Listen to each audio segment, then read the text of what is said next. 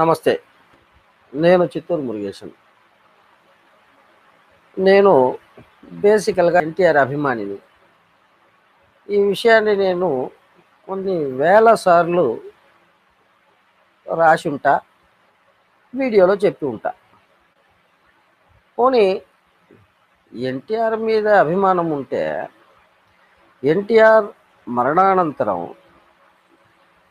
వైఎస్ఆర్ అభిమానివి ఎలా అయ్యావు? అని మీలో కొందరు అడగచ్చు.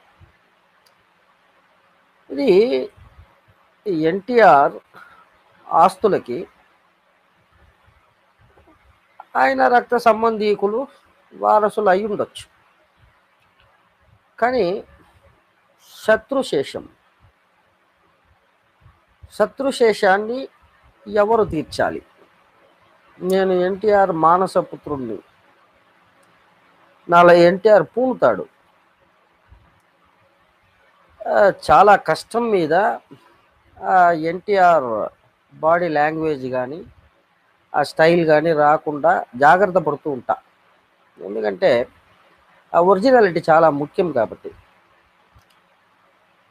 ఇప్పుడు ఎన్టీఆర్ రాజకీయ వారసుడిగా పేరొందినటువంటి చంద్రబాబు నాయుడు వెన్నుపోటు పొడిచాడు. ఎన్టీఆర్ శారీరక వారసులు. అందరూ చంద్రబాబు పంచన చేరారు. ఆ తరువాత కుక్క కాటికి చెప్పు దెబ్బ అన్నట్టుగా ఒక్కొక్కరు ఒక్కొక్క విధంగా దెబ్బతిన్నారు. అది వేరే కథ.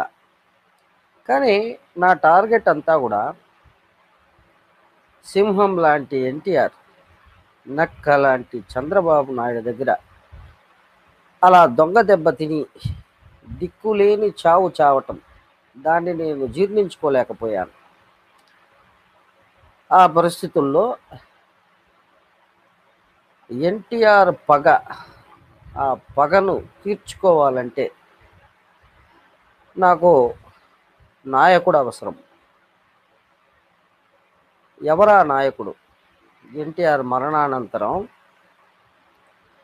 ఆ, తెల్లడిల్లి పోతుంటే వైఎస్ రాజశేఖర్ రెడ్డి ఆయన గురించి చాలా చదివాను విన్నాను చూశాను అది వేరే కథ.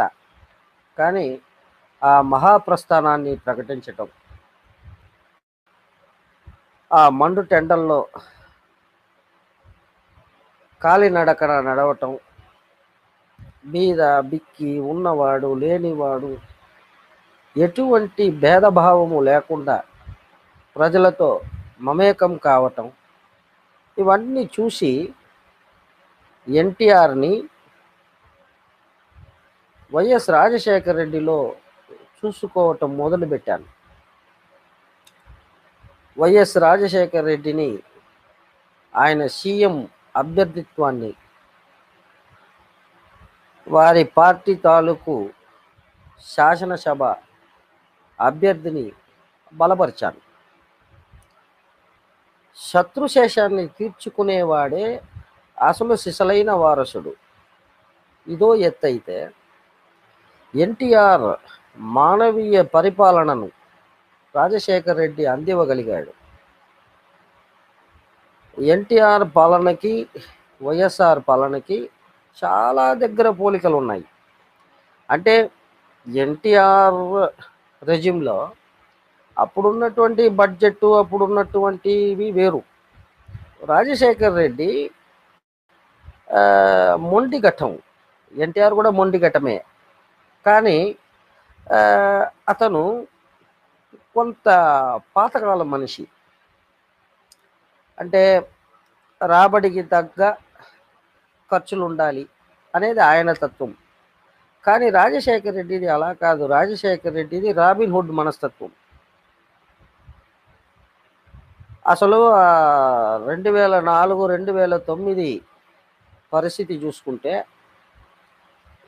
జలయజ్ఞం సంక్షేమ పథకాలు పలు ప్రగతి పథకాలు ఎన్నో ఎన్నెన్నో వాటికి వనరులు ఎలా సమకూర్చాడు?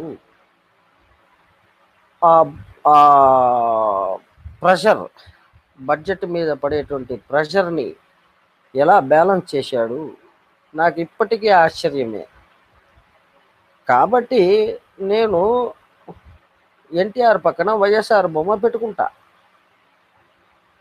ఒక లాయర్ ఏమో నాకు లీగల్ నోటీస్ పంపిస్తానన్నాడు. ఎన్టీఆర్ పక్కన వైఎస్ రాజశేఖర రెడ్డి ఫోటో పెట్టకూడదు. నా పాయింట్ ఏమంటే ఎన్టీఆర్ భవన్లో ఎన్టీఆర్ ఫోటో పెట్టడం అన్నది చికెన్ సెంటర్లో మహాత్మా గాంధీ ఫోటో పెట్టినట్టు. ఈ పొద్దు ఎన్టీఆర్ భవన్ అన్నది ఎలా తయారైంది? అటువంటిది రాజశేఖర రెడ్డి పక్కన ఎన్టీఆర్ ఫోటో పెడితే ఏమి బొక్కో అది ఏం కర్మో నాకైతే అర్థం కాలేదు కానీ లీగల్ నోటీస్ పంపించడానికి నా పోస్టల్ అడ్రస్ ఇచ్చా. పంపించబయ్యా.